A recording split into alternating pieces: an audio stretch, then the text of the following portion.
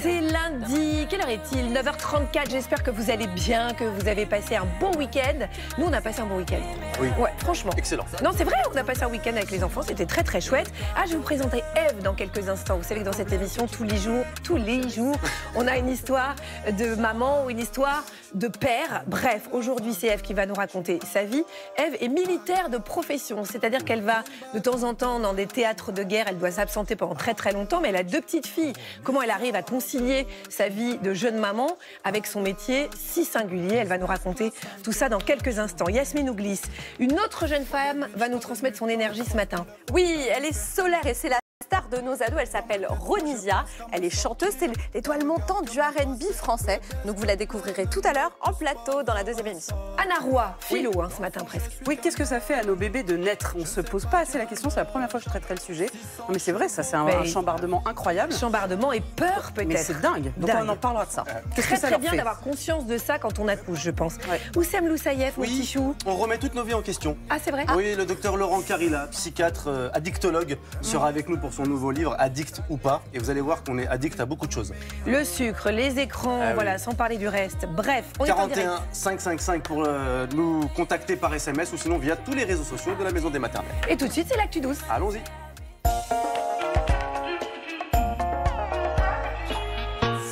C'est fou Agathe parce qu'en parlant d'addiction, je me suis rendu compte que j'étais addict à vous. J'en étais sûre. Mais c'est pas Je possible me d'être disais à quel moment j'allais euh, la placer. c'est pour ça. Vous avez compris pourquoi je l'avais embauché Ah non, mais. Au casting, il a pas arrêté de faire ça. Écoutez, Eh ben, Vous avez vos- ses fiches. Alors, attendez. les fiches elles disparaissent, elles sont là les Non, non, fiches. vous les avez Vous les Bien avez sûr. Allez, on peut démarrer On démarre tout de suite avec des bonnes nouvelles, puisque je décide toujours de démarrer les- la semaine avec des bonnes nouvelles. C'est l'actu. On va y arriver.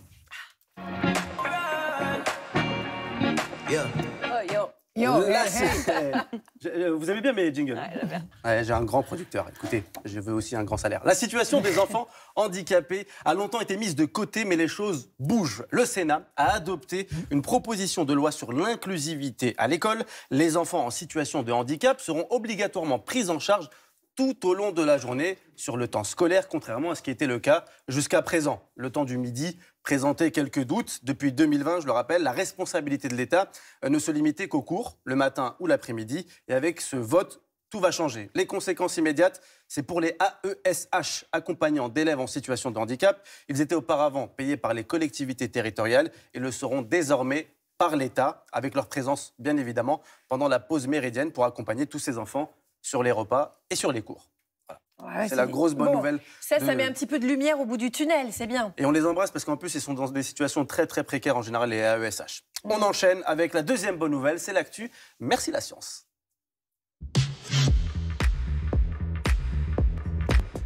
Ça, c'est un son qui nous emmène aux États-Unis. Direction les États-Unis où un enfant euh, sourd profond a entendu pour la première fois grâce à un nouveau traitement. Il a 11 ans. Aysam Dam a entendu la voix de ses parents grâce à une thérapie génique. J'explique très rapidement. Il y a une protéine qui nous permet d'entendre euh, dans l'oreille interne, elle s'appelle l'autoferline. Quand on est sourd profond, cette protéine est absente, donc il faut un traitement. Aysam a subi une intervention chirurgicale, on lui a soulevé le tympan pour lui injecter cette protéine de synthèse. Et au bout de. 4 mois, l'enfant entend très très bien. Il, est juste une- il a juste une, une surdité auditive très très légère. Et donc, les résultats sont exceptionnels. Aïssam, bravo, bravo au chirurgien qui t'a opéré. Et si tu nous écoutes et si tu nous regardes, petit cadeau pour tes oreilles.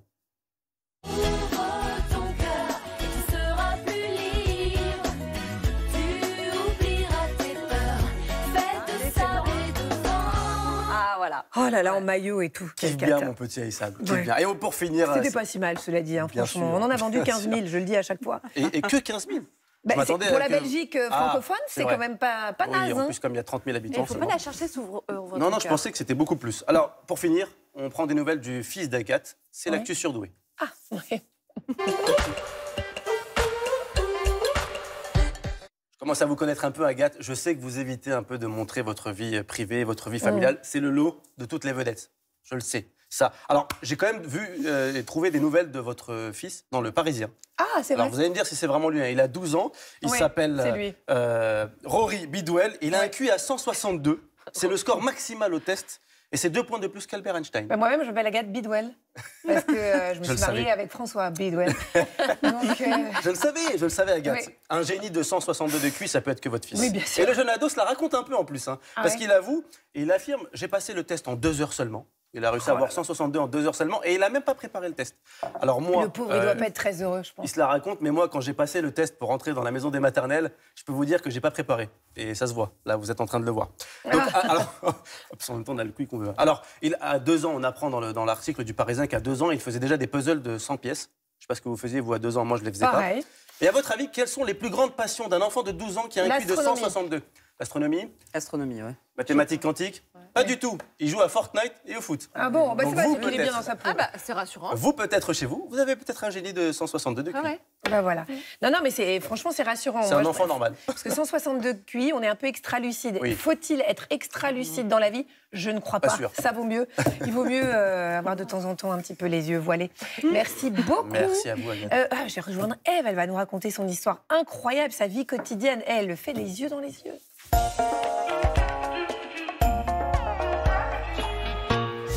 Alors aujourd'hui, euh, c'est vrai qu'il y a un certain nombre de femmes qui pratiquent des métiers à risque, qui étaient, euh, il faut le dire, autrefois plutôt réservés aux hommes. hein.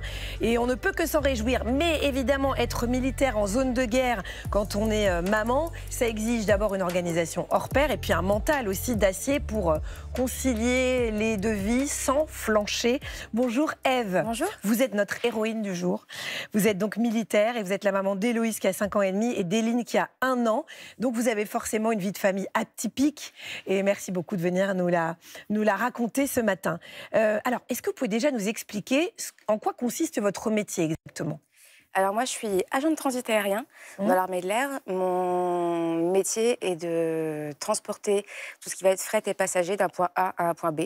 On regroupe euh, comme un mini aéroport, mais version militaire, euh, en tout temps et en tout lieu. D'accord. Et donc vous, ça vous amène à, à partir de temps en temps? Alors si oui, où et combien de temps?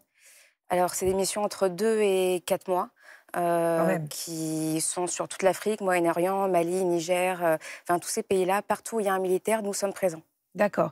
Donc, ça vous oblige euh, à vous absenter de chez vous pendant un, un long moment, deux à quatre mois, quand on a des enfants tout petits. C'est vrai que c'est long. Et en plus, ça vous expose à des risques. Oui, bah, les mêmes risques que tout, euh, tout militaire. Euh, Ça peut être un crash avion, euh, pris à partie sur un théâtre de guerre. on est vraiment soumis aux mêmes contraintes que tout militaire de l'armée de l'air Voilà. de. Donc, à chaque fois que vous partez, forcément, j'imagine qu'on y pense un petit peu. Bon, enfin, on va en reparler, mais c'est vrai qu'il y a une différence quand on a des enfants. Alors, vous êtes en couple depuis sept ans avec Emmanuel. Lui aussi, hein, il est militaire, il part régulièrement euh, en mission. Il y a six ans, on est donc en 2018, vous tombez enceinte. Euh, comment s'est passée déjà l'annonce de votre grossesse à vos supérieurs? Alors l'annonce, euh, je annoncée à mon ancien chef de service qui, euh, à l'époque, euh, m'a dit oh là mais euh, c'est très compliqué à gérer pour un chef de service. C'est vrai que sur le coup, j'ai pris un peu une, claque. Bon, c'est vrai que c'était des, anciens chefs à l'ancienne époque où il y avait très peu de femmes hein, dans l'armée. Maintenant, est sur d'autres discours. Mais j'ai pris, j'ai pris une claque parce qu'on j'ai dû me battre hein, pendant plusieurs années pour euh, arriver à un certain niveau, une certaine estime de mes collègues. Et là, euh, bon, ça a été. euh, Comme si tout était remis à zéro. C'est ça. Je me suis dit, mais euh, est-ce que je vais être mettre mis au placard euh, Donc, euh, ouais, ça a été compliqué. Mm. Vous êtes demandé, est-ce que je vais refaire des missions, quoi? Moi qui ai ça dans le sang, parce qu'il faut le dire, c'est une vocation, quoi. pour Ah, c'est une passion. Vous adorez votre métier. Oui, oui, c'est réellement une passion. Alors finalement, euh, bah, vos craintes se sont un petit peu envolées parce que vous avez été euh, muté. Euh, vous allez rejoindre votre conjoint en région parisienne alors que vous étiez euh, auparavant en Picardie. Et le 6 avril 2018, vous donnez donc naissance à Héloïse. Est-ce que parce qu'il y a effectivement ce qu'on pense avant d'être maman, puis une fois qu'on a son enfant, généralement, toutes les cartes sont redistribuées. Est-ce que vous, vous avez pensé une seconde à quitter votre métier? Non, pas du tout. Euh, comme je dis, c'est réellement une passion. Par contre, il y a eu des inquiétudes. Est-ce que je vais réussir à Mm. gérer? Comment va se passer l'organisation? Euh, Est-ce que je vais être capable de repartir en, en mission? Parce que c'est un peu le, le cœur de mon métier, euh, de, de- de partir, d'être déployé. euh. et en fin de compte, on y a été au feeling. Et on s'est dit, bon, bah, ça, ça va le faire. Et à quel moment est-ce que justement le fait de repartir en mission, la question de repartir en mission a été posée? Elle avait quel âge, Héloïse? Héloïse avait 16 mois lorsque Mhm. je suis repartie en mission pour deux mois. Euh, le départ, euh, ça a été, ça a été dur. Euh, je m'y attendais pas. J'ai beaucoup pleuré. Euh, ma fille dormait lorsque je suis partie, donc pour elle, il n'y a pas eu de, de réaction, elle m'a- vu Mhm. qu'elle m'a pas vu partir. Euh, une fois sur le théâtre, par contre, on- comme tout militaire, dès qu'on arrive sur le- la mission, euh, on enfile notre tenue, notre masque et c'est parti. On, on est là pour, pour faire un travail. Mais là, c'est la concentration maximale. Quoi. Exactement. Euh, Est-ce que vous avez réussi à maintenir un peu un lien quand même avec votre fille pendant votre absence? Oui, oui, oui. Euh, via les, les réseaux, les, des visios. Tous les soirs, euh, j'essayais de m'arranger pour être présente pour l'histoire du soir euh, Mm. via Ah en visio. Donc on s'appelait sur euh, Viber ou autre. euh, Ouais. et je pouvais être là au moins pour l'histoire du soir. Et le retour à la maison, alors est-ce que vous appréhendiez? Pas du tout. Héloïse n'avait montré aucun signe. Euh, vraiment, euh, enfin, l'enfant parfaite. Cet enfant, depuis le début, c'est euh, l'enfant vraiment parfaite. Donc, pour moi, je me suis dit, le retour va très bien se passer, il n'y aura aucun problème. Et une fois mon retour, euh, ça a été très compliqué euh, pour Héloïse. Je ne pouvais plus quitter une pièce Ah oui? Ouais, sans qu'elle pleure. Euh, Enfin, très simplement, je pouvais même plus aller aux toilettes toute seule. Elle pleurait derrière la porte. Oui, c'est ça. Donc, ça a Elle été, avait peur euh, que vous repartiez. c'est ça, la peur euh, de repartir, ça a été euh, très dur euh, pour elle, malgré euh, tout ce qui avait été mis en place euh, en, en amont. Euh, parce que les, les armées délivrent un, un carnet de voyage pour les enfants avec un calendrier. Euh, où ils peuvent barrer les Ils jours. peuvent barrer les jours. Euh, nous, ce qu'on appelle un carnet de vol, Mhm. euh, où on peut leur lire pourquoi on part en mission- qu'est-ce qui se passe. Donc il y a vraiment un accompagnement qui est fait au niveau des armées pour les familles. Et du coup, c'est vrai que ça, ça a été un peu la, la tempête. euh, Puis pour vous, ça a dû être difficile parce que c'est là où vous avez pris conscience en fait que ça n'avait pas été anodin, Oui. euh, ce- cette mission pour elle. Oui, oui, ça a été, euh, a été une claque, réellement. euh, du coup, euh, j'en ai parlé à mes chefs qui, voilà, qui m'ont laissé pendant deux ans euh, tranquille. Oui, c'est ça. Euh, Et pendant ce temps-là, vous avez pu lui expliquer, parce qu'elle a grandi donc un petit peu, vous avez pu lui expliquer en quoi consistait votre métier précisément? Oui, je lui ai expliqué euh, ce, que, ce que je faisais, je lui ai montré euh, les avions. Elle a pu venir à mon travail également pour euh, voir. euh, elle était notamment une fois euh, pour euh, la fin du Transal. Mhm. Donc elle l'avait vu. Je lui ai expliqué également que bah, maman euh, fait, euh, du, fait un travail pour aider aussi les enfants, pour tout ce qui est humanitaire. Euh, Et là, aujourd'hui, elle a 5 ans et demi. Oui. Euh, elle vous en veut maintenant qu'elle est plus grande quand vous partez? Non, Non, elle comprend? Elle comprend, c'est une enfant qui a toujours été euh, très généreuse. Mhm. Donc là-dessus, il n'y a aucun problème. Elle, elle- elle comprend, je lui parle, je lui montre des photos. Il y a vraiment un échange qui se crée et on a chacune un doudou, donc Ah. qui est le même, un doudou magique. Et quand je suis Qui pas là, relie c'est ça. Quand je suis pas là, je lui dis bah tu peux lui faire un câlin. Maman, elle ressent les câlins avec euh, bah, le l'autre doudou qui est le même. Ça, c'est chouette, c'est une euh, bonne idée. Euh, alors, après, la- l'envie d'agrandir la famille s'est fait ressentir assez vite. Donc, en 2022, vous êtes tombée enceinte, une nouvelle fois. Comment est-ce que vous avez vécu cette nouvelle grossesse? Super. Ça a été le jour et la nuit par rapport à. C'est vrai, il y a eu des choses qui ont changé? Oui, bah déjà la- l'annonce a été euh, largement mieux accueillie au niveau de mes chefs, d'autant plus que je suis passée euh, chef d'équipe. Mhm. Donc un métier, euh, enfin c'est moins de contraintes Oui. physiques. Je suis plus dans la gestion d'équipe en tant que chef avion. Donc c'était plus simple de garder mon poste actuel où j'ai pu euh, y rester jusqu'à un mois avant mon accouchement. Ouais, donc ça, vous avez pu profiter de chaque moment grâce à ça. Euh, le 7 janvier 2023, vous avez donc donné naissance à Éline.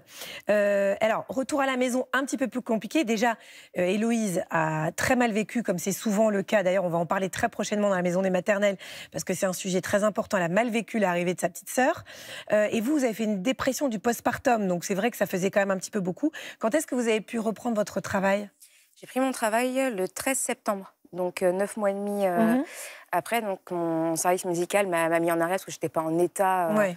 de, de reprendre et de pouvoir euh, gérer une équipe avec euh, bah, cette dépression qui m'est tombée dessus. euh, Alors, vous n'en aviez pas eu pour Héloïse? Pas du tout. Mm. Mais euh, je pense que là, pour la deuxième grossesse, euh, ce qui a été vraiment compliqué, c'était la gestion. Héloïse qui était très dure, qui n'acceptait pas sa petite Mm. sœur, qui parlait sa place en fait euh, d'unique de, Oui, de oui, petit bien bébé. sûr. euh, Et euh, puis moi, mon image euh, rapport au corps euh, qui était très, très compliquée. Ouais, donc euh, tout ça mélangé, c'est toujours, bah, d'ailleurs, vous qui êtes dans l'aviation, un crash d'avion, on dit toujours que c'est une somme de plein de paramètres. Finalement, une dépression, c'est un peu ça. hein. C'est à la fois peut-être, euh, ah, ça peut être une douleur, ça peut être euh, effectivement un regard sur soi, ce sont des éléments extérieurs. Enfin bref, tout ça mélangé fait que on peut sombrer alors qu'on s'y attend pas. Est-ce que parfois vous avez le, le sentiment de passer à côté de certaines choses dans votre vie de famille? Oui, euh, j'ai raté les premiers pas de Héloïse. Euh, c'est Ouais. 4 ans. Donc, euh, c'est vrai qu'il y, a- il y a des grandes étapes qu'on loupe, mais l'engagement fait partie euh, de, de ma vie, c'est mon métier.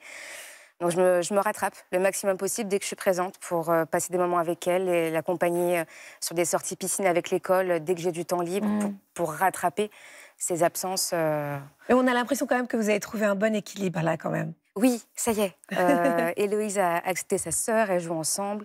Euh, on a trouvé notre rythme. C'est vrai que le deuxième enfant, ça a été un chamboulement euh, Oui. total. Il y a tout un équilibre à retrouver. C'est ça. Donc euh, maintenant, maintenant, tout roule. Voilà, donc vous- en fait, et vous arrivez à ne pas culpabiliser aussi, ça c'est important. Oui. Eh ben, Oui, On sent vraiment que euh, voilà, vous avez cette vocation et vous avez euh, qui a un sens forcément, qui a une utilité publique et donc ça arrive à prendre le pas aussi sur la culpabilité, c'est ça? Exactement. Mm. Puis le fait d'avoir un conjoint euh, qui est présent, qui il est vraiment exceptionnel. Il arrive à coudre des caprines des neiges à la machine à coudre, ce que je suis incapable de faire. Oh là là, Vous auriez dû nous le présenter là quand même. Fallait venir avec lui. Qui est cet être très étrange Donc la, l'accompagnement euh, au niveau de la famille et le soutien est vraiment important. Enfin, sans, sans soutien, je serais peut-être pas la militaire que je suis actuellement. Donc, euh, Eh ben, on embrasse Emmanuel, on embrasse vos filles aussi, et puis euh, on rend hommage aussi à tout votre entourage qui a permis cet équilibre. Merci d'être venu nous raconter votre histoire Merci ce matin, Eve, dans la maison des maternelles. Euh, je vais rejoindre maintenant une psychologue spécialiste justement de la résilience qui va nous expliquer comment est-ce qu'on peut trouver un équilibre quand on a un métier un peu singulier comme ça. Merci.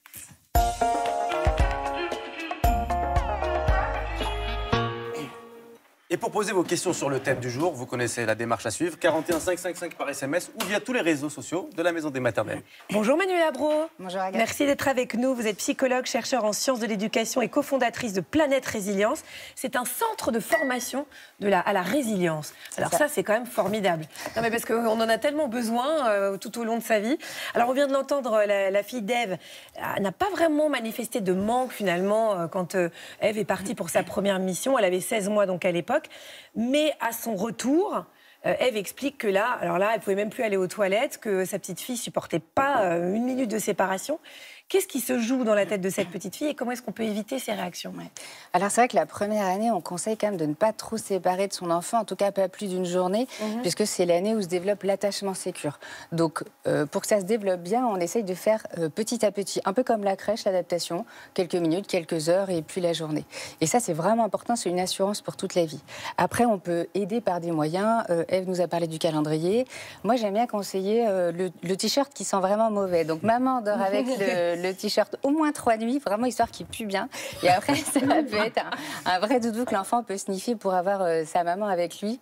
J'aime bien aussi conseiller le kit de survie. Alors, le kit de survie, c'est une vidéo qu'on enregistre euh, en amont, dans laquelle, évidemment, maman euh, raconte qu'elle aime son enfant profondément. Et je pense aussi que la plupart des adultes, euh, enfin, pas, enfin, la plupart. Il y a 40%, on sait qu'il y a 40% des adultes qui sont insécures. Et en fait, ces adultes-là, ils ont tendance un peu à reproduire ce sentiment d'insécurité dans l'attachement avec leurs enfants. Donc je pense que ce qui est important, c'est que l'adulte se sécurise lui-même. Et pour ça, on a développé une méthode avec le, le- docteur Émilie Guissens pour retravailler l'attachement sécure chez les adultes. Alors cette méthode, il y a deux étapes. La première, c'est une petite lettre. Moi, j'aime bien la thérapie narrative. Donc on écrit à qui? À son enfant intérieur. Donc en fait, c'est l'adulte qui vient sécuriser son enfant intérieur et qui a, qui a manqué d'amour, de protection. Alors, première étape, j'ai amené une petite lettre. Donc d'une de mes patientes qui s'appelle Sarah. Donc Sarah la grande a écrit à la petite Sarah et lui a écrit Ma petite Sarah, je voulais te dire que je sais très bien que quand tu étais petite, tu as manqué d'amour et de protection. Je voulais te dire qu'aujourd'hui, tu peux t'apaiser, car moi, la grande Sarah que tu vas devenir, je suis là, grande et forte pour veiller sur toi. Tu n'as plus besoin de crier très fort quand tu as peur d'être seule ou abandonnée, c'est le cas de, de certains adultes, car je serai toujours là pour toi, pour veiller sur toi et te protéger. Ne t'inquiète plus, tu peux t'apaiser. Ça, c'est la première étape. Deuxième étape, donc je suis venue avec mon, mon psychologue Oh stagiaire. Comment il s'appelle? Bah, Doudou, Ah évidemment. bah oui, évidemment. Donc, on, on- on un votre doudou micro, Manuela, pardon. Pardon, un grand doudou. Et en fait, 15 minutes par jour, on travaille en câlinothérapie. Et par exemple, moi, j'irais câliner la petite Manuela en lui disant, tu sais, petite Manuela, tu peux t'apaiser, maintenant je suis là pour Ça, toi. c'est toujours le parent. Hein. Oui, c'est le parent. C'est le parent qui va retravailler lui-même son attachement sécure.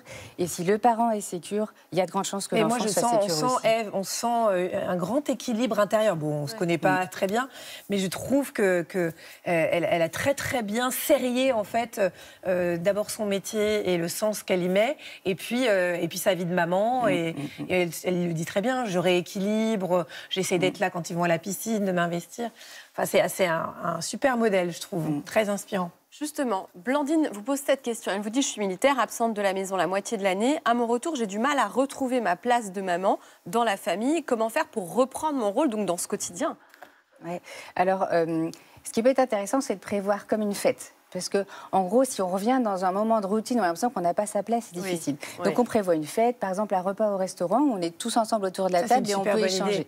On raconte, maman rapporte des photos et elle montre un petit peu ce qui s'est passé. Et puis, euh, ça me fait penser à, à une anecdote. Euh, J'ai un papa qui, euh, pendant le, le premier confinement, c'était très très drôle, il a, parce que du coup, sa femme était, est infirmière, donc il- les rôles ont été inversés pendant le confinement. Madame était, euh, maman était à l'hôpital et papa était à la maison. Et il m'a fait beaucoup rire parce qu'il a eu cette phrase invraisemblable. Il m'a dit, mais Manuela, mes enfants font du bruit dès le petit déjeuner. Donc, donc, il a découvert qu'il avait des enfants et en même temps il a découvert, il a adoré leur faire l'école. Donc maintenant qu'ils ont repris leur routine et qu'il est de nouveau absent la semaine, et bien en fait il a gardé ce côté j'accompagne les devoirs et tous les soirs il a une demi-heure de visio avec ses enfants. Et euh, déjà il me dit qu'il sent moins seul à l'hôtel tous les soirs et en plus il adore ces moments-là et presque le week-end il me dit qu'il a hâte de repartir pour avoir ces moments privilégiés avec ses enfants qui au départ étaient consacrés aux devoirs, qui maintenant sont plus des moments de, de complicité avec chacun de ses enfants. Une dernière question Une rapidement. dernière question rapidement. Il y a Fanny qui vous dit euh, Mon fils de 10 ans a peur que je meure depuis que je lui ai expliqué que je faisais un métier dangereux. Euh, Fanny, elle est exposée au danger sur des zones de conflit. Comment euh, Alors avoir justement, une comment on parle des risques? Alors rapidement, euh, j'aime bien la citation de Mark Twain. Vous savez quel est l'endroit le plus dangereux au monde? C'est son lit. 99% des gens y meurent. Donc de toute façon, en cas de peur, il faut se confronter. Il faut aborder cette éventualité avec l'enfant. Il faut que maman lui dise qu'effectivement, il ne faut pas lui mentir. Il faut pas lui dire que maman va pas mourir. C'est pas vrai. Il faut lui dire que Mais le dès plus tard plus jeune possible. âge Ben oui, avec des mots adaptés, bien évidemment. Parce qu'en fait, c'est- lui mentir que lui dire que, c'est- que, que maman ne mourra jamais. Maman n'est pas Mais on immortelle. le dit avant qu'il pose une question ou on attend la question quand non, on même peut attendre parce que là, j'ai l'impression que c'est un enfant qui manifeste. euh, Exactement, Qui un le enfant de 10 manifeste. ans. Et puis, il faut, faut se projeter avec lui, dire, tu sais, même au pire du pire, et il faut l'aider à se projeter. Pas, c'est la fin du monde, mais tu sais, tu auras papa, tu auras les grands-parents, Ouais. tu auras ton école, tes activités. Il y a beaucoup de choses qui ne changeront pas. Merci beaucoup Manuela Bro. Merci pour cet éclairage ce matin. Euh, dans notre deuxième émission, La Maison des Matins à votre service, vous allez retrouver euh, Anna Roy. Qu'est-ce qui se passe dans la tête d'un bébé qui naît Franchement, euh, c'est- c'est la grande question philosophique à laquelle on va essayer de répondre. On n'y arrivera pas, hein, je vous préviens. Yasmine Ouglis va nous faire découvrir une chanteuse formidable, très inspirante. Et Oussem remet en question toute notre vie quotidienne. Donc restez avec nous.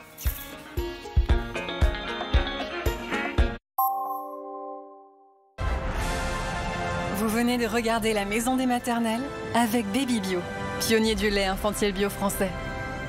Vous avez regardé La Maison des Maternelles avec le laboratoire dermatologique Aven, recommandé par les dermatologues pour les peaux sèches et irritées des plus fragiles.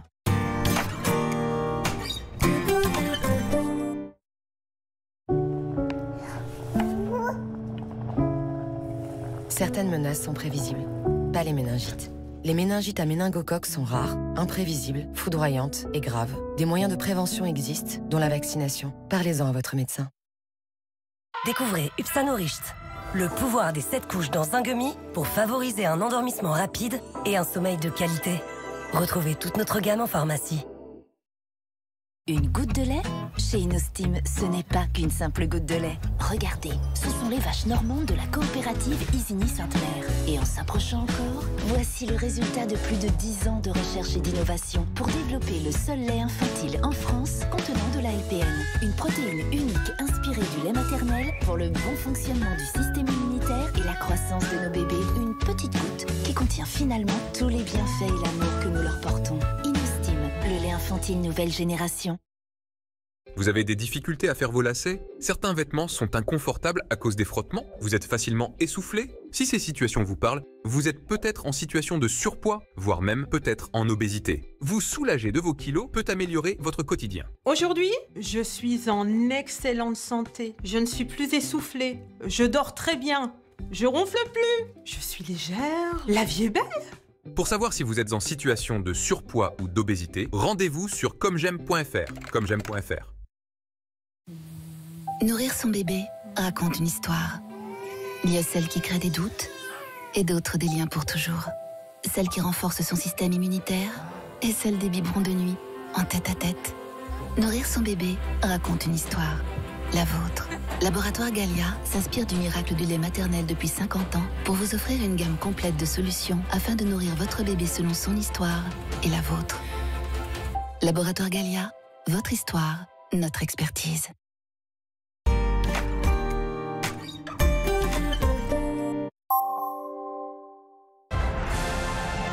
Embarquez pour la maison des maternelles avec Baby Bio, pionnier du lait infantile bio français. Ne manquez pas la maison des maternelles avec le laboratoire dermatologique Aven. Recommandé par les dermatologues pour les peaux sèches et irritées des plus fragiles.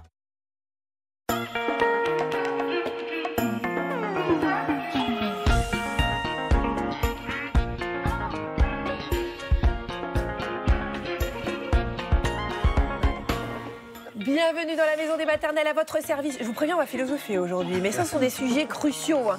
Vous savez quand même que bon, les enfants, c'est le socle de nos vies, c'est aussi le socle de la société.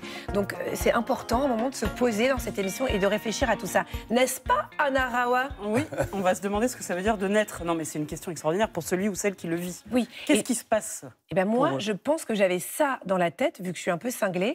Euh, quand mon- mes fils sont nés, Ouais. j'avais ça dans la tête, alors que je venais de souffrir comme je sais pas quoi. Et donc je me suis dit, Oh, ça doit être l'horreur. Ils n'ont jamais vu une personne, ils n'ont jamais Non, vu la pas- lumière, ils n'ont jamais. Et donc euh, voilà. Et donc bah, j'ai adapté mon discours. Euh, salut, tu vas bien? Wesh, tu vas. Euh, Yasmine vous avez une invitée formidable. Oui, on va découvrir une chanteuse, alors chanteuse star des ados, mais vous savez que je viens pas sans preuve. hein. Vous aurez des preuves. Ah. Les ados Mais là-dedans. de toute façon, on vous les réclame, on les exige. Oui, c'est ça. Oussem, on adore Oui. votre invité, oula. Ah, ça va être exceptionnel. On va parler addiction et vous allez voir qu'on est addict à beaucoup, beaucoup de choses. Eh oui. On l'accueille, on le reçoit, le docteur Carina.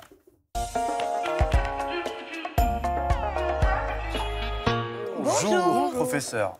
Professeur Laurent Carilla, vous êtes psychiatre, addictologue de ça, renom. Exactement. Vous aimez l'expression addictologue? Je sais qu'on dit euh, spécialisé en addictologie. Addictologue, non Ça, ça va, ça vous ouais, va? c'est tout, ouais. Vous êtes auteur de ce livre-là que j'ai en ma possession, Ouais. Docteur Addict. Un pavé, hein, dis ou donc. pas. C'est une Bible. Déjouer les Ah oui. addictions, conserver le plaisir. Alors pavé, euh, vous allez Oui, voir, mais ça m'arrange, ça c'est m'arrange. parce qu'il y a des tests en fait. Mais bien sûr. Il y a plusieurs tests à l'intérieur. Et c'est publié aux éditions HarperCollins. Ouais. Professeur, première question. Oui. À quel moment on sait si on est addict à quelque chose ou pas? Il y a ce moyen mnémotechnique que j'ai créé qui s'appelle les 5 C. Cinq fois la lettre C pendant un an. C'est c'est- c'est la base. Alors, le premier C, c'est une perte de contrôle comportemental. C'est la première chose. On perd contrôle. Mhm. D'accord On fait quelque chose, hop, on perd contrôle. Deuxième C, Ça un qu'on ne peut pas s'arrêter. Non, c'est-à-dire que vous êtes en train de bosser et hop, vous dites oh, je vais aller consommer, oh, je vais me Ah connecter, je vais aller acheter. on, on change de, de- de comportement. Deuxième C, usage compulsif. On ne peut pas s'empêcher de le faire. Parce que ça nous soulage, mais ça ne nous soulage pas. Troisième C, c'est un mot anglais, le craving. Le craving, c'est l'envie irrépressible de le faire. Je vous donne un exemple tout simple. Je ne sais pas si vous, vous fumez ou pas, enfin pour ceux qui fument. Plus. Bon, voilà. ceux qui sont en réunion pendant deux heures, trois heures, ou dans un avion pendant trois, quatre heures, la première chose qu'ils font quand ils sortent de l'avion ou de réunion, ils vont fumer. Et c'est le craving qui fait ça. On a une envie irrépressible. Troisième C. Quatrième C, un usage continu. On répète le comportement. Et le der- dernier C, c'est des conséquences sur sa vie sociale, physique et psychique. On a des conséquences sur sa santé et on a des conséquences au niveau environnemental, social, on travaille moins. C'est pas raisonnable. Pendant quoi. un an. Ça C'est ma- Ça dépasse la raison. C'est ça, ça dépasse la Il raison. n'y a plus de plaisir. Euh, là, par exemple, vous avez un truc en tête, vous ou pas? Parce que moi, oui. hein. Ah, Moi, je suis addict à beaucoup de choses. hein. Ah ouais, d'accord. Moi, ça bon serait- moi, c'est- c'est- ce serait mon portable. Je pense Ah ouais. que, je Il pense faut que faire le test. Il y a un test à l'intérieur, Ouais. oui. Euh, Moi, je pense que je suis addict au portable aussi. euh, Alors, on ne dit pas addict au portable. On dit j'ai un usage problématique Ah. à mon téléphone ou j'ai- ou j'ai un usage excessif à mon smartphone. Parce que le smartphone, c'est une matrice intermédiaire. En fait, on est. On va être addict à ce que génère l'écran, en fait. oui, C'est-à-dire, on va être addict au, lui-même, oui. au réseau. C'est on va être addict-. Non, c'est un Mais doudou. moi, j'ai remplacé la doudou, le- cigarette par ça, c'est marrant. Mais c'est un doudou. Ouais, ça ça. vous rassure. En fait, je joue à un jeu, je suis complètement addict, qui s'appelle Rosel, une Ouais. folle alliée. Et Mais non, c'est un jeu très coloré, non? Il est très C'est des coloré. lettres, c'est bleu, euh, il faut faire des, des- des mots euh, en deux minutes. Ouais. Et je peux faire ça 4-5 heures d'affilée. Professeur, j'ai une question. Bon, je viendrai vous consulter parce que sinon, on n'aura plus le temps de vous poser des Est-ce questions. est-ce qu'on naît avec des addictions? Est-ce qu'il y a une forme de transmission génétique? Non, la Pas génétique, non, il y a plein de facteurs qui expliquent qu'on va devenir addict. Il y a cinq facteurs. Premier facteur, c'est comment notre développement personnel, notre puberté, euh, nos interactions. Il y a des différences entre les garçons et les filles. Il y a notre maturité cérébrale. Une maturité cérébrale, j'entends, notre cerveau finit de se former vers 20-25 ans. Avant, il n'est pas formé. Donc si on apporte des choses qui font très très plaisir, ou des drogues, ou de l'alcool, ou du tabac, ou des écrans, ou du sexe, ça, eh ben, ça peut modifier un peu certaines structures du cerveau. Donc ça, c'est le point central, le développement. Il y a aussi notre psychologie, notre tempérament, comment on est, est-ce qu'on est déprimé, est-ce qu'on est anxieux, est-ce qu'on est hyperactif, est-ce qu'on est hypersensible, etc. C'est à l'infini. Il y a le cerveau, comment notre cerveau se forme. Il y a la génétique, c'est 40 à 70% Et il y a l'environnement. L'environnement, c'est quoi? Les produits disponibles, les comportements disponibles, nos parents, le stress. On a un enfant qui montre des signes d'addiction autour de nous. Les enfants ne sont pas addicts. Ils sont jamais addicts? Non, les À partir de quel âge on est addict? on est, c'est, c'est plutôt euh, fin d'adolescence, jeune adulte. Ça, ça peut, mais c'est rare. Les enfants montrent plutôt des signes de comportement excessif. C'est ça. C'est important à dire. Parce que moi, j'en peux plus d'entendre. Addict Euh, aux écrans. Addict à tout, addict à machin. Addict aux écrans, ça veut rien dire. C'est j'ai un usage problématique, j'ai des comportements excessifs, il faut les gérer et il faut changer les habitudes. Et comment on change les habitudes? Si j'ai un enfant, par exemple, qui a une- une- un très grand usage d'écran ou, je sais pas, moi, il est très passionné de sport, il veut pas s'arrêter de faire du sport, est-ce que je peux modifier son comportement? Le premier élément, c'est le parent et modèle. Si le parent ou les parents ont un usage problématique d'écran, les enfants auront un usage problématique d'écran. Vous avez compris, Agathe? C'est important. Mais moi, ça va, mes enfants, c'est moi. Il faut venir, vous viendrez me voir en Ah ouais, bah oui, Ah, j'ai besoin de fait. vous parler, mais d'urgence, hein, professeur. Et, et c'est ça le modèle. Et après, c'est des règles intrafamiliales. Parce que toutes les règles, 3, 6, 9, 12, Ouais. euh, 2, 4, 6, 8, 10, moi, je dis n'importe quoi, tout ça, c'est inapplicable. dans les- euh, C'est inapplicable. Vous avez trois enfants d'âge différents, il y a des écrans à la maison, il y a des écrans partout. Vous laissez les écrans aux plus grands, bah, les autres, ils vont dire on veut. Mm. Et pourquoi je joue pas Même des jeux ludiques, hein, ça peut être un jeu une appli d'échecs. Euh, on peut, on peut, le- le- les enfants n'arrivent pas à gérer cet écran. Donc on doit leur apprendre, nous. C'est à nous, ça, sans- c'est notre responsabilité de parents. Ah ouais, parce qu'il y a ce qu'on appelle le modeling. Le modeling, c'est quoi? Vous vous rappelez quand on, enfin, vous êtes, quand on était plus jeune, euh, il y avait des cigarettes en chocolat. Oui, vous vous bien souvenez de sûr, ça. Et on, on s'achetait des cigarettes en chocolat et on fumer. faisait fumer. Pourquoi? C'était un modeling par rapport Aux parents, qui fumaient. Ouais, bien sûr. Ben, c'est ça. Nous, on- quand on est petit, on veut se modeler comme nos parents, ou les grands. C'est ça. Professeur, vous parliez tout à l'heure des addictions à la drogue, euh, Ouais. au, au cannabis, aux- Ouais. aux, boissons alcoolisées. Il y a l'Observatoire français des Ouais. drogues et, et des tendances addictives qui nous a appris il y a, il y a quelques jours euh, que les jeunes boivent et fument de moins en moins. Ouais. C'est une bonne nouvelle. C'est une bonne Mais comment nouvelle. elle s'explique, cette nouvelle? Est-ce qu'il y a un travail qui est fait euh, au niveau des addictions? On peut parler d'addiction pour ces jeunes-là? De comportements de consommation? Euh, variables et problématiques, euh, et d'addiction pour certains. Mais addiction, c'est une minorité, minorité des jeunes. Euh, les jeunes n'aiment plus trop la cigarette, mais les jeunes aiment la nicotine. hein. Ils aiment les puffs, les cigarettes Oui. électroniques, etc. Il y, a des, il y a des changements de comportement dans, dans- dans les profils de consommation. C'est-à-dire, ils vont plus être... Ce sont des modes, en fait. Ouais, c'est des tendances en fait, mais eux aussi, ils, ils vont plus vite que nous euh, sur d'autres produits. Donc on voit, hein, euh, il y a un chapitre dans le bouquin. Alors c'est pas un bouquin d'addictologie, hein, c'est un Oui, bouquin oui. sur De tous nos comportements de vie, comment ils peuvent basculer. Et il y a un chapitre qui s'appelle Faire la fête, et dedans, j'ai juste parlé de, tous ces nouveaux produits, comme le Purple Drunk, vous savez, ces boissons à base d'opiacés, la limonade avec l'opiacé, hein, quand même, hein, ils font le- Oui. leur mélange, ou euh, le gaz hilarant, etc. etc. Dernière question, est-ce qu'il existe des addictions ou des comportements euh, excessifs euh, positifs? Oui, j'ai développé ce concept aussi. Oui, L'addiction livre. Merci. hein, Bah, parce qu'en fait, Yasmine, je sais qu'elle est addicte Ouais. au travail. Ah non, euh, non. c'est- positif. Ça, ça, il y a- il y a un chapitre, sur dedans. travail, Ouais, il y a très longtemps, on disait, dans les années 70, on disait, il y a très longtemps, oui, c'est vrai, euh, le travail, c'est une addiction clean. C'était écrit comme ça dans les années 70. Or, c'est pas vrai, il y a des gens, en fait, on les repère pas, les addicts au travail, on les repère quand ils sont en burn-out Oui. ou en dépression complète. Oui, oui. Et ça passe complètement inaperçu. Non, l'addiction au travail, ça peut être très délétère. Avez compris, Yasmine? Bah oui, je vais faire Doucement, attention du coup. hein. Oh là Merci. là. Merci. Professeur Laurent Carilla, docteur addict ou pas, déjouer les addictions, conserver le plaisir. Et c'était un plaisir de vous recevoir. Merci beaucoup. Oui, mais on a un goût trop peu quand même. Ah ouais. hein, la Je reviens fois. quand vous voulez. avez le après. Il faut Je reviens, revenir, il faut je reviens. absolument revenir. Merci beaucoup. Tout de suite, Merci. nous partons à vos côtés.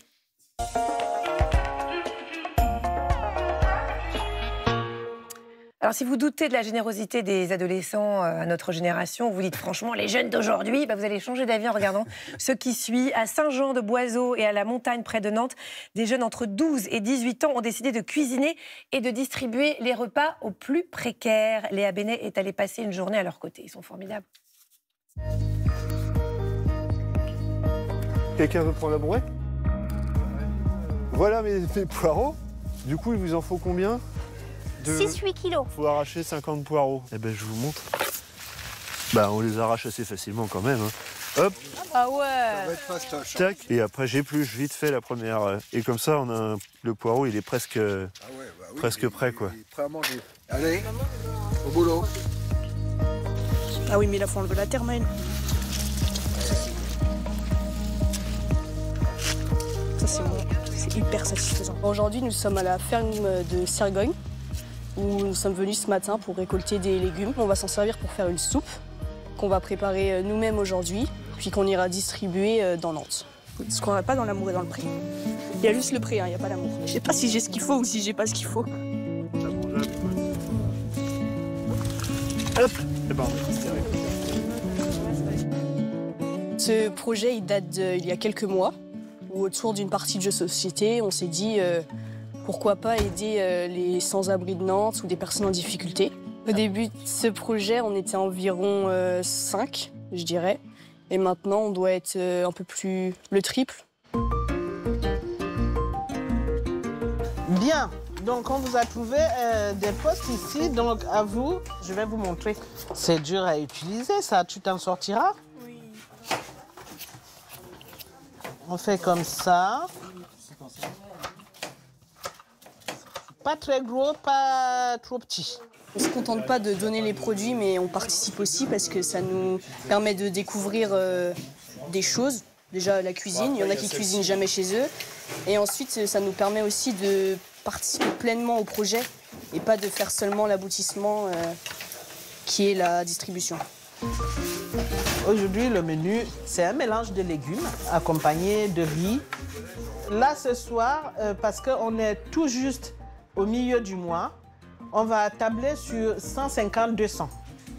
Arrivé vers la fin du mois, ça peut être euh, 300 repas.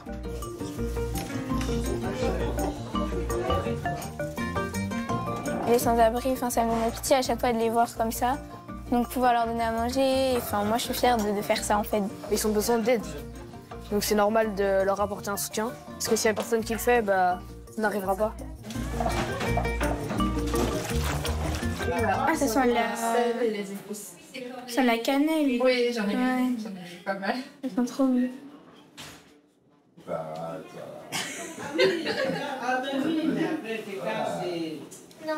c'est trop Ils sont très jeunes et c'est vraiment super qu'ils commencent maintenant. On a le sentiment comme ça de passer le flambeau, que la solidarité continuera.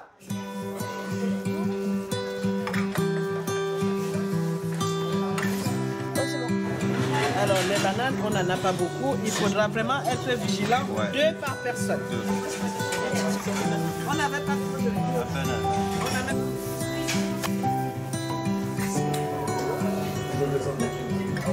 Comme ça Plus Tout la cuillère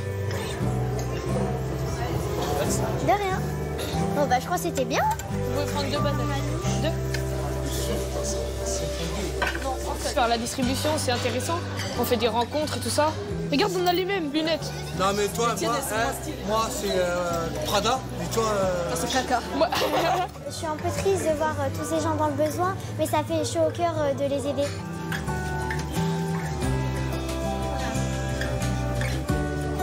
Ça va, il fait pas trop froid? Ça fait une sensibilisation, ça nous apprend la vie hein, et ce qui peut arriver à tout le monde. euh. 到了 Bon bah, on n'a pas de mots quoi. Ils sont extraordinaires ces jeunes. Alors sachez qu'avec l'hiver et le froid, en plus ils organisent des, des maraudes, ils récoltent des dons. Enfin bref, donc si vous voulez les aider, ils ont toujours besoin de denrées alimentaires, ils ont besoin de vêtements chauds, de couvertures, etc. Et donc vous avez un site internet qui s'affiche en bas de l'écran. N'hésitez pas à les aider, c'est tellement formidable cette initiative. Tout de suite, on va philosopher un peu avec Anna Roy. Ça va nous faire du bien. C'est l'instant tuto. Et l'heure du tuto. Ce matin, Anna, vous avez décidé de faire une chose que, à mon sens, on ne fait pas assez, c'est se mettre à la place d'un nouveau-né. Voilà. Comment il vit son arrivée au monde? Comment il vit le moment où il sort du ventre de sa mère? Le choc de la naissance, tout autant de, sujets passionnants. Euh, vous allez euh, nous en parler, puis on vous écoute après. C'est un passage aussi grand que celui de notre prochaine mort.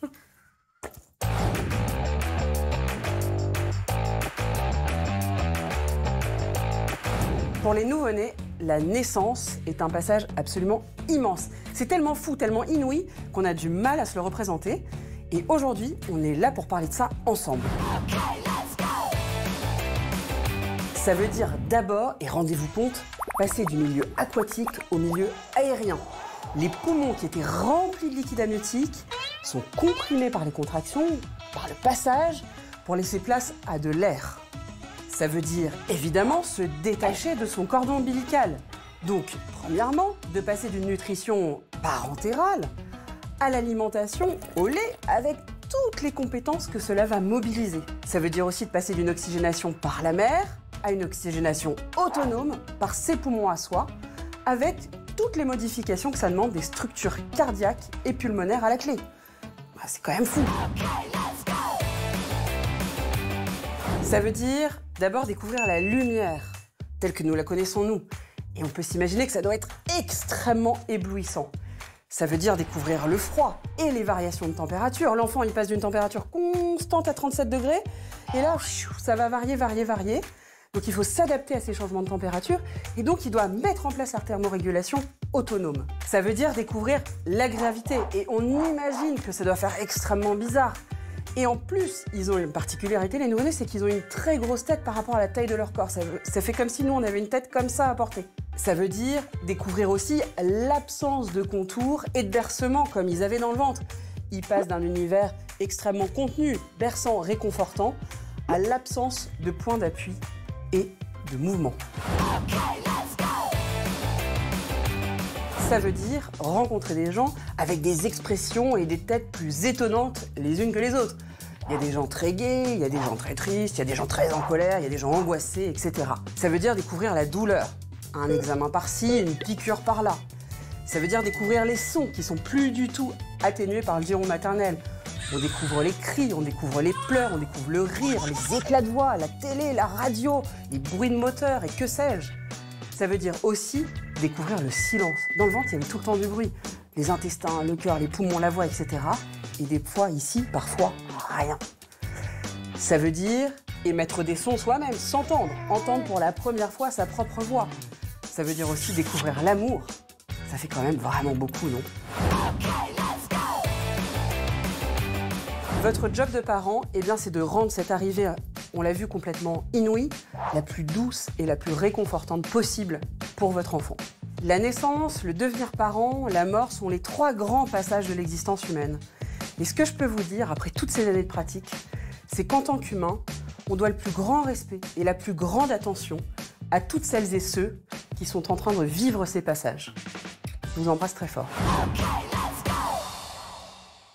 Était émue à la fin, euh, Anna. Ah, bah oui, oui, parce que moi je suis très très intimidée, je suis bouleversée par les nouveau-nés, comme d'ailleurs par ceux qui vont mourir. Enfin, il y a quelque Mm. chose où les, même ça m'arrive évidemment de voir des nouveau-nés mourir. Et donc je suis bouleversée par ces passages et c'est vraiment notre rôle d'humain. Et alors, qu'est-ce que vous Enfin, Moi, c'est ce qui m'a animée, c'est pour ça que j'ai choisi ce métier. Et dont vous ne vous lassez pas, bien entendu. Non, mais les, les nouveau-nés, il n'y a rien de plus bouleversant au monde. Ils sont extrêmement intimidants. Moi, je dis toujours, et, ils sont intimidants. Ils arrivent à la fois avec un savoir immense et à la fois. Non, c'est merveilleux. On se demande Et- vraiment d'où ils viennent, quoi. Qu'est-ce qu'on pourrait conseiller à- aux mères qui vont accoucher de faire pour peut-être adoucir ce moment crucial qu'est la venue au monde et qui très certainement va les marquer au fer rouge? Ah oui, ça c'est vraiment leur job en tant que parents, mais même je dirais plus Est-ce qu'il Pour faut les leur parler parce que Ah les, mères, pour le coup, elles accouchent, elles sont dans l'action, elles, elles en ont beaucoup Mhm. sur le cocotier, sur, la, sur le dos. Donc les coparents, là, vraiment, leur rôle, c'est d'adoucir, de faire ce qu'on peut pour que Mais ce est-ce que quand on, la première fois qu'on l'a dans les bras, moi je me souviens que je lui ai dit je suis ta maman, je me suis présentée, j'ai dit je suis ta Mais maman. bien sûr, il faut se J'ai parlé tout doucement parce que je me suis dit mais il, il me connaît pas quoi. Ah, mais alors, si, ça, moi, je crois qu'ils ont un grand instinct, ils, vont, ils nous captent par le regard. Je ne sais pas si vous vous rappelez de ce Oui, le premier, premier regard. Qui est, euh, exceptionnel. qui est complètement dingue. On a l'impression qu'ils vous connaissent depuis N'en parlez pas toujours. trop parce que je vais pleurer. Et oui, le premier regard, c'est bouleversant. Il n'y a rien de plus bouleversant de regarder ça, cette rencontre. Et souvent, ça déclenche chez nous une réaction d'amour dont on se, revient, ouais, on se rappelle de ça toute notre vie. Non, mais c'est trop beau. Les nouveau-nés, vraiment, il y a quelque Il y a chose eu de des vraiment merveilleux. sur les réseaux, j'imagine. Oui, Yasmine, on l'a euh, perdu. Oui, oui. Ah, les nouveau-nés, Ça c'est me merveilleux. replongeait là-dedans. C'est vrai que Ouais. c'est magnifique. Euh, bon, là, on part sur autre chose. Autant Oui, vous oui, le allez, dire. soyons, Hein, repartons voilà. sur les hémorroïdes. Non, quand même pas. On va parler d'une petite césarienne ou pas césarienne. Fatoumata, elle vous dit Je suis enceinte de deux mois. Pourrais-je accoucher par, par voie basse après une césarienne due au poids élevé de mon précédent bébé en octobre 2021 Césarienne au premier égale césarienne au deuxième ou non? Eh bien, ça dépend si les conditions de ce premier accouchement se Sont répètent. Par exemple, je ne sais pas si c'est parce qu'elle avait un enfant, qu'elle portait un enfant de 5 kilos, par Mhm, exemple. mhm. Des fois, c'est une indication à faire une césarienne. Et là, malheureusement, bah, si ça recommence, ça, euh, ça risque de se répéter. En fait, c'est voilà, c'est si le motif se répète. Donc, elle va voir ça, bien sûr, avec les équipes qui vont la suivre. Mais en tout cas, qui dit une première césarienne ne dit pas une forcément ça, c'est pas une automatique. césarienne itérative. Pas Bien du sûr. tout. Anna, question de Lucie. Pourquoi y a-t-il si peu d'informations sur la cholestase gravidique pendant la grossesse? Pouvez-vous en Alors parler, ça, Anna, alors, il faut expliquer vous ce que c'est. Non, mais alors ça, je suis d'accord. C'est vraiment une, c'est une maladie. Et ça, je vais faire un tuto là, euh, dont on va le tourner dans une semaine. Tellement je trouve qu'on n'en parle pas assez. Mais en tout cas, c'est une maladie de la grossesse qui donne en particulier des envies Des de se gratter. Et souvent, euh, les patients s'en fichent parce Ouais. que euh, bah, ils se disent bon bah je me gratte, c'est la peau qui est sèche et qui tire. Donc ce qu'on peut dire, c'est que si vous avez des démangeaisons, il faut consulter. Rien de plus simple que de dépister cette maladie. On fait une prise de sang à jeun et on dose les acides biliaires. S'ils sont trop élevés, eh bien c'est que vous avez une cholestase gravidique et suivi plus ou moins à déclenchement parfois, etc. En tout cas, promis, je vous en fais un tuto entier sur ce sujet parce qu'effectivement, on n'en parle pas assez. C'est noté. Hein. Alors, Ah je non, vois qu'il mais y je a plein tourne de... le 5 février. Voilà, non, et puis on, en- on Non, en non, a déjà parlé, important. etc. Oui, Donc n'hésitez pas, vous avez France.tv pour aller regarder les émissions qu'on a faites avant. Je vois qu'il y a plein de questions qui, qui défilent sous l'écran, etc. France.tv, c'est une mine d'or, parce que nous, Ah ouais. nos émissions ne restent pas une semaine, elles restent longtemps. Il y a YouTube aussi, donc n'hésitez pas. Tout de suite, c'est Yasmine qui nous présente son invité. Vous allez voir la beauté, mon Dieu.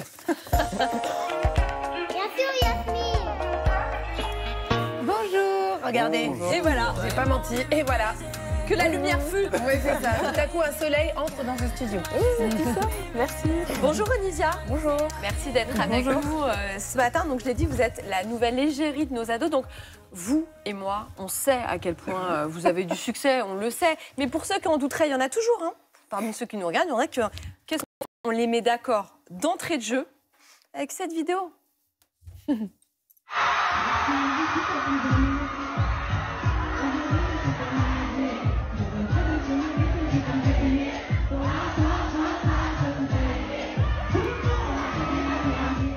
Eh ben. Ça s'appelle du succès. Hein Et du talent. Et du talent. Et du talent, bien sûr. Vous êtes toute jeune, vous, vous venez de fêter vos 24 ans. Euh, Qu'est-ce que ça vous fait quand dans une salle comme ça, vous recevez euh, cette dose d'amour? C'est pas vertigineux? Ah, mais Je crois qu'on s'en rend pas compte. hein. En plus, là, c'est les images de mon premier concert à La Cigale. Rien que ça, c'est vraiment un truc de dingue. Et de voir toute l'énergie que, que tous ces jeunes ils m'apportent. Parce que via les réseaux sociaux, on s'en rend pas forcément compte. Quand on voit les playbacks et tout, on s'en rend pas forcément compte. Mais quand tu le vois en vrai, c'est. Ouais, là, on, on est obligé de le recevoir. Ah oui, quoi. Donc, vous avez sorti il y a quelques mois votre deuxième album qui s'appelle Era 24, rapport à votre âge. Après avoir raflé quand même un disque d'or pour le premier album, euh, là, vous allez enchaîner une tournée. Vous démarrez, je crois, le 9 février avec euh, un Zénith de Paris euh, le 2 mars. Et vous êtes souvent décrite dans les, dans les articles comme la nouvelle star du RB français, l'étoile montante euh, de- du RB français. Est-ce que vous pouvez nous raconter comment vous êtes fait connaître? Alors, comment je me suis fait connaître? Je crois que c'est via TikTok. Euh, la fameuse plateforme euh, TikTok. euh, On en parle beaucoup hein, dans On l'émission. en parle beaucoup parce que ça fait beaucoup et moi, ça m'a beaucoup apporté, franchement. Et il faut savoir que moi, mon premier morceau, il a explosé sur TikTok avant même que moi, je me crée mon TikTok. Donc, c'est incroyable. Tu arrives sur une plateforme et tu vois ton morceau partout qui défile comme ça. Il y a des trends, il y a des vidéos, c'est juste incroyable et c'était beaucoup de jeunes.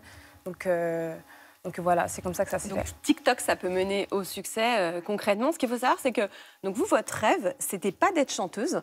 Vous, vouliez être euh, éducatrice spécialisée, donc vous vouliez accompagner les jeunes, c'est ça? C'est ça, exactement. J'avais commencé ma formation. Euh, j'étais à ma deuxième année de formation d'éducatrice spécialisée. Et je travaillais avec des enfants en situation de handicap dans un IME, donc vraiment rien à voir avec la musique. Mhm. Mais j'avais quand même un petit pied dedans. Ouais, et puis finalement, ce que vous faites aujourd'hui, c'est les accompagner aussi, parce que euh, je ne pense pas me tromper en disant que pour les jeunes euh, qui vous suivent, vous avez vraiment un rôle de, grande sœur et de modèle. Et il euh, faut savoir que c'est une énorme responsabilité, mais que j'assume et, que, et dont je suis fière, mhm. parce que de recevoir des messages de jeunes qui me disent que je suis un modèle, que je suis un exemple de réussite, c'est juste incroyable, parce que mhm. moi, il y a quelques années, euh, c'était peut-être moi qui allais me retrouver à envoyer des messages à certaines artistes en disant je kifferais être comme toi. Mhm. Et là, me retrouver dans cette position, c'est euh, beaucoup de responsabilité, mais je, l'assume et j'en suis très fière. Alors, je ne sais pas si parfois vous vous demandez euh, pourquoi elle vous aime tant, parce que c'est mm. beaucoup des, des, jeunes filles. J'ai posé la question à Naëlia, qui a 11 ans, et elle m'a envoyé cette vidéo. Coucou maternelle, moi c'est Naïlia, j'ai 11 ans et mes copines et moi on aime trop Ronisia parce que ses mélos sont incroyables, toutes ses musiques nous restent en tête, elle est belle, elle est simple, elle est proche de sa communauté. Moi personnellement, ces musiques que j'aime, c'est bah, surtout Niatera parce qu'elle parle de mon pays d'origine, le Cap Vert. Bisous cousine Voilà une cousine à moi. Donc voilà, bon je pense que vous vous en doutiez, c'est ce que vous dégagez et c'est ce que vous leur apportez à travers vos, vos musiques aussi Et eh bah euh, c'est tout à fait ça c'est le, côté solaire. Et j'aime beaucoup que les gens ils remarquent que je suis proche de ma communauté parce que j'y tiens vraiment à même répondre aux, petits messages, ne serait-ce qu'un cœur, aux petits commentaires. Sur euh, Instagram, sur TikTok Sur Instagram, sur TikTok, sur Snapchat, sur toutes les plateformes. Et pour moi, c'est hyper important d'être proche de son public. Alors, Effectivement, et je pense qu'elles doivent sentir aussi que vous avez cette, ces valeurs-là, parce qu'il y a un truc qui m'a beaucoup surprise, c'est que je sais que vous êtes originaire de, de Grigny, qui est une ville de l'Essonne. Vous aussi, hein, c'est son département. Euh, et alors, j'ai entendu dire que vous aviez offert votre premier disque d'or au maire de votre commune de Grigny. Et vous êtes, euh, vous êtes vraiment l'étoile de Grigny. C'est incroyable ça. Mais oui, mais ça fait plaisir parce que euh, je suis la première artiste à avoir amené un, single d'or. Ah, c'est un single d'or, ouais, ok. Un single d'or. Et ils ont été tout de suite hyper fiers de moi. Et moi, il faut savoir que la première scène que j'ai faite, c'était pas devant grand monde, hein, mais les premières scènes que j'ai faites, c'était à Grigny, et c'est eux qui ont pu euh, développer cette passion euh, en, nous, en nous mettant à disposition des salles de danse, des, petits cours de chant, des petites choses comme ça. Et oui, Donc, bien sûr, ça vient de là. une façon d'être euh, gratifiante. D'être reconnaissante. Ouais, ouais, Alors, Là, votre euh, dernier titre, on l'a entendu quand vous êtes arrivé, on l'a entendu en début d'émission, c'est Agathiou. Et vous partagez cette euh, chanson avec Niska, qui est un rappeur que nos ados connaissent très bien et qui est aussi originaire d'ailleurs de l'Essonne. Euh, on regarde un extrait de ce clip. Toi et moi, on devait briser le cœur. T'as préféré me briser le cœur. Tu m'as laissé abîmer, boy. Tu m'as laissé abîmer, boy. Ça devient trop méchant.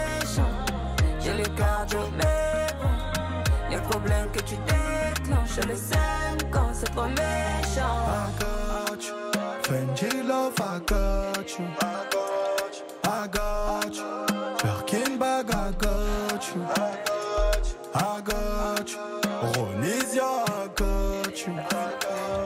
Ah ouais, celle-là, elle reste bien dans la tête. Hein. Bravo pour ce titre. Euh, alors, quand j'ai dit sur mes réseaux que j'allais vous recevoir, j'ai reçu plein de messages de mamans qui voulaient que je fasse un gros bisou de la part de leur fille. J'ai aussi reçu ce message de Inès et Dounia qui avait une question pour vous. Regardez-les. Bonjour Onisia. Alors, je m'appelle Inès, j'ai 13 ans. Et je m'appelle Dounia, j'ai 10 ans.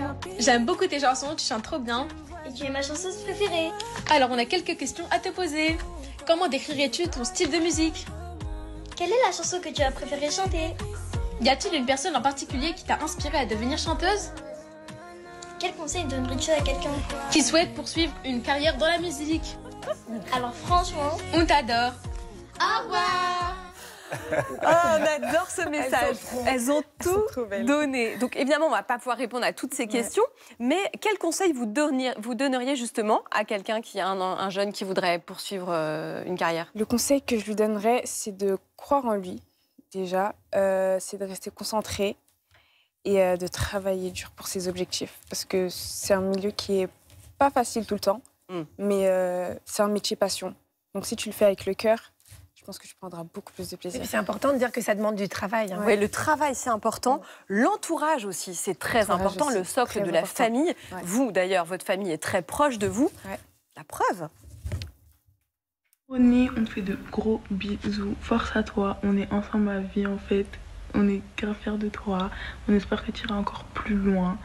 Et euh, on te fait confiance en fait. Tu vas tout casser. Bisous. C'est qui ça C'est ma petite sœur. Ah voilà. J'ai reçu des messages de la sœur, des cousines. Je pouvais pas tout passer, mais ils sont derrière vous, hein. Ah oui, non, mais moi, ma famille, c'est mon, c'est mon premier soutien. Dès que je rentre à la maison, euh, c'est beaucoup d'amour. Je suis très famille. Je suis très proche de mes cousines, de mes parents. Ben voilà un bel exemple pour nos ados. Ouais, voilà. Donc, euh, bah, franchement, si tous les modèles de nos ados étaient euh, comme toi, ça serait fantastique. on rappelle juste qu'il y a un album et elle est en tournée. Si vous voulez acheter des places pour vos enfants, vos petits-enfants, Oui, c'est le je moment. serais vous, je me dépêcherai. voilà, je peux vous dire. Allez, tout de suite dans la maison des maternelles, c'est le petit bazar. Tout à l'heure, tout à l'heure, on a parlé de l'inclusion dans, dans les actus douces, qui était une actu d'ailleurs très douce. Et on a une question qui dit bonjour. Vous avez parlé d'une nouvelle loi pour l'inclusion scolaire. Où peut-on trouver plus de détails? C'est une loi qui a été votée par le Sénat. Sénat.fr. Il y a tous les éléments de réponse concernant l'accompagnement euh, des, élèves handicapés et des AESH. Agathe, oui. je sens que vous allez devoir faire une émission spéciale yoga. Yoga bah, Parce que du coup, elle nous a montré tout à l'heure ce dont elle était talent. capable. Et alors, Oui, encore, Judy, Non, mais attendez, j'ai choisi une posture assez simple pour Thomas. Sans le corbeau de côté, Oui. on n'est pas non plus sur, euh, on n'est pas sur une posture, on n'est pas sur un scorpion.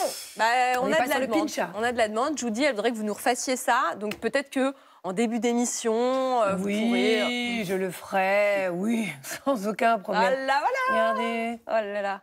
Et après ça, c'était pas dur. mais ça Alors va. après, il faut tendre hein, les, les jambes. Donc là, ça s'arrête avant, euh, mais il faut ouais. tendre. Non, j'y arrive, mais bon, ouais, voilà, il faut s'échauffer, quoi.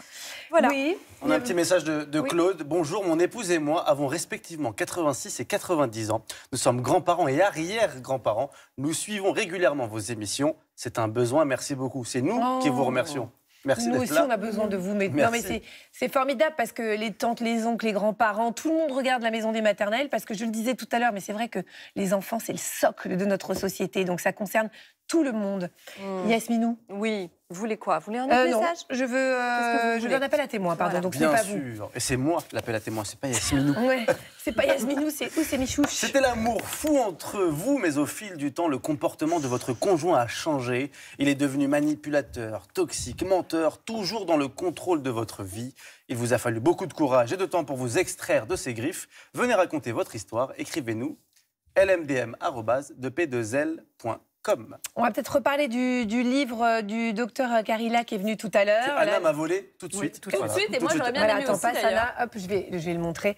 Donc voilà, parce qu'on a eu aussi plein de questions euh, là-dessus. sur, Docteur addict on ou se pas demande si on est addict ou pas, est-ce qu'on est addict aux écrans, est-ce que nos enfants sont addicts aux, aux écrans? C'est vraiment une bible, c'est hyper bien Il y a fait. même des tests aussi à l'intérieur. Voilà, il y a des Euh, tests pour pouvoir vous famille. situer, vous, et, euh, et puis évidemment des clés ensuite pour essayer, une fois, enfin, si on est empêché par une habitude, on va dire, sans parler d'addiction, peut-être essayer de, de trouver des solutions et des clés pour euh, réduire. Voilà, comme moi, le Rosel, vous l'avez bien compris, ça ne va pas du tout. Donc, je suis capable d'arriver en retard à un rendez-vous parce que j'ai ma partie à faire, surtout contre Tom Do. Tom Do, si tu m'écoutes. euh, c'est votre bête mon C'est juré. votre bête noire Bah, En fait, c'était mon élève. et Il a dépassé le maître. Qu'est-ce qui rend plus fou que ça? Ah oui, rien. Allez, le prénom du jour, j'aurais pas dû en parler. Oui, un prénom qu'on adore. Ouais, hein. ouais, Ah bon? Vrai. Oui, c'est Isaac, un Ah, prénom qu'on adore. quel parce que- prénom Ouais, c'est le prénom de votre fils. Exactement. Alors moi, j'aime beaucoup ce prénom parce qu'il est commun aux trois religions. Donc comme ça, si vous, voilà, si vous êtes un couple euh, multiculturel, ça passe. Voilà. Alors on va y aller sur l'étymologie. Donc c'est un prénom qui est issu du prénom hébraïque Yitzhak, qui signifie, euh, enfin qui s'inspire plutôt du terme Tsarak et qui signifie il rira. C'est magnifique. Euh, Isaac est le fils d'Abraham et le père de Jacob dans la Genèse. Il faut savoir que euh, donc en français Isaac, en hébreu Yitzhak et dans le Coran c'est Ishak. Ishaq. Ishak aussi Ouais, oui. ah, Moi je dis On Ishak. dit ha, mais Je l'avais pas. Ishaq. Même moi, je sais mieux faire. Donc Bravo. là, il y a quand même un Bravo. problème. Non, mais je sais faire le ha. euh, Isha. Je sais le faire. Non, mais Bon. vous, de toute façon, on sait. euh, On sait que vos gènes euh, Oui, sont... il y a quelque Voilà, chose. Choukran. Allez. non, mais attendez, on croit rêver, quoi, quand même. Oui, enchaînons. Donc il est très répandu parmi les juifs et le prénom Isaac fut également adopté par les chrétiens et ensuite par les musulmans. Il s'est fait plutôt discret depuis son introduction, mais là il semble être de plus en plus apprécié. Pourquoi? Pour ce côté justement multiculturel. On les fête Œcuménique. le 20 décembre. Je ne le savais pas. Et ben voilà, le 20 décembre, c'est encore un Quel cadeau. père indigne, quand même. Et comme en- si à Noël à côté. Sur la musique de Ronisia, bien évidemment. Ronisia, merci d'avoir été avec nous. On va se quitter sur euh, ta musique. Voilà. Euh, nous, euh, bah, je vous ai parlé de France.tv tout à l'heure. France.tv, allez-y, franchement, c'est une mine d'or pour vous, parents. Merci Anna d'avoir été avec nous. Vivement lundi prochain de vous revoir. Oussam et Yasmine, on se revoit demain en direct à 9h25. Merci d'être de plus en plus nombreux à nous suivre. À demain. I got you. Ronisia, I got you. I got you. Business class, I got you. Trop de bitch, trop de nudes dans le phone. Elle veut me faire, elle m'a dit, mets le code.